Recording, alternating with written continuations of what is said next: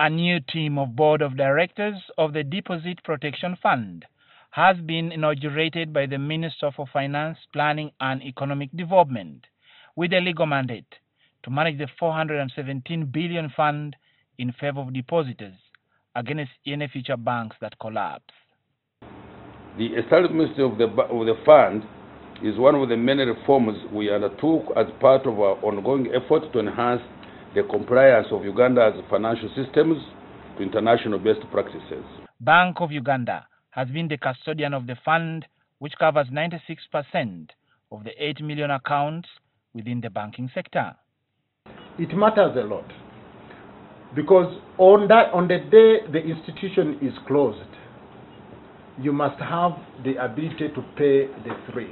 Mm. And I'll remind you, Honorable Minister, that when we closed Greenland in 1998, and uh, at the time we also closed Cooperative Bank, the size of the fund could not fully pay the 3 million, and we had to run to the Ministry of Finance.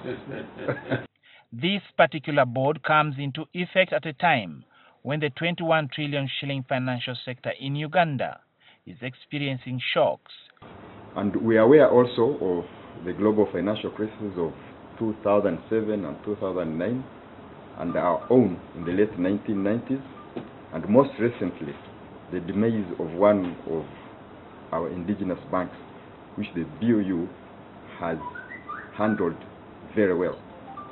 And the evolution of the crisis showed that the importance of maintaining depositor confidence in the financial system is extremely important the defunct Crane Bank, for instance, rolled off the terrain after its liabilities overshot its assets, lifting it up into insolvency.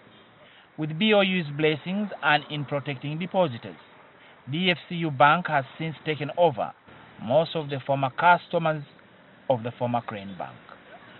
Reina Ojon, NTV Business.